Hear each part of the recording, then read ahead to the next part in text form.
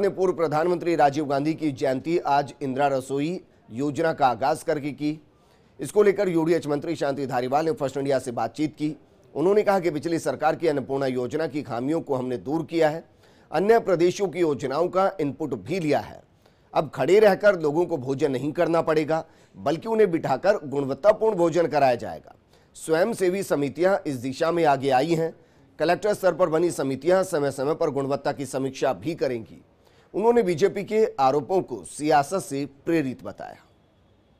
एक बड़ी योजना जिसे लेकर राजस्थान आज चर्चा में है इंदिरा रसोई योजना।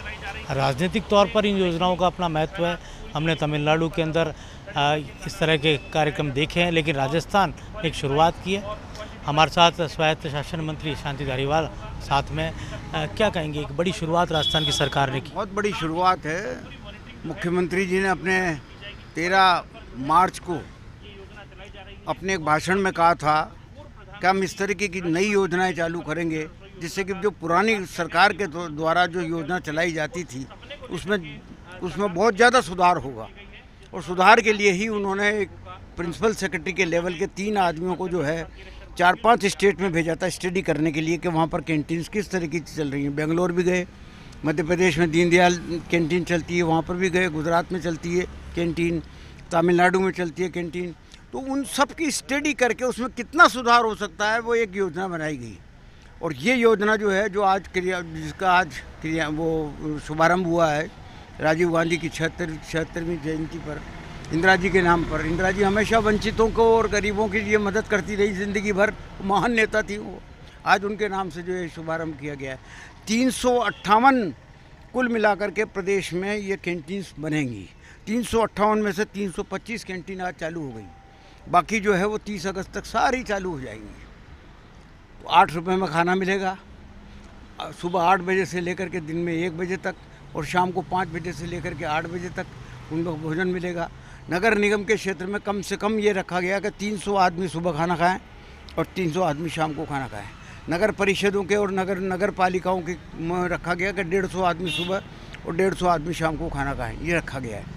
कैंटीन चलाने वालों को प्राथमिकता दी गई है कि संस्था अगर कोई आती है, कोई अच्छा एनजीओ आता है तो उनको जो है वो प्राथमिकता के तौर पर उनको कैंटीन अलॉट हुई है। और मैं समझता हूँ कि निश्चित तौर पर जो लोग इंटरेस्टेड हैं, अपना आप, अब तीन सौ अट्ठावन के लिए करीब करीब एक हज़ार एक हज़ार संस्थाओं के द्वारा, उप, नहीं, एक हज़ार संस्थाओं के द्वारा जो है वो अप्लाई किया गया है। जहाँ पर संस्था नहीं आई, वहाँ पर व्यक्ति भी वैसा तलाश किया गया है, जिसको ये काम दिया गया है, जो सेवा भाव से काम करना चाहता हूँ। ये कितनी बड़ी बात है कि पिछली गवर्नमेंट के टाइम पर खड़े खड़े खाना खिलाया जाता था और बर्तन भी ऐसा ही होते थे, न गर्म भी गर्म भी नहीं होता था वो खाना, लेकिन अब कैसे बिल्कुल गर्म खाना मिलेगा। गर्म खाना मिलेगा, टेबल और कुर्सी पे बैठ करके आराम से जो है वो खाना खाएगा, कूलर की हवा होगी रोशनी होगी, बढ़िया कैंटीन बनेगी सुंदर कैंटीन बनेगी, रंग रोगन वगैरह सब कुछ अच्छा होगा, उसके लिए पाँच लाख रुपया हर कैंटीन को जो है सरकार देगी। तो धन्यवाद। और एक बड़ी योजना को लेकर बात शांति धारीवाल जी ने की है। राजस्थान की एक लोक लुभावन योजना जो गरीबों के हित के लिए लाई गई है किस तरह के रिजल्ट्स होंगे, ये अलग बात है, लेकिन एक प्रयास राजस्थान की सरकार ने उन व्यक्तियों के लिए किया गया है जो वंचित तबका है। और जिसको रोज़गार का संकट रहता है, आमदनी का संकट रहता है। कैमरा जर्नलिस्ट रामनिवास गुजर के साथ योगेश शर्मा, फ़र्स्ट इंडिया, जयपुर।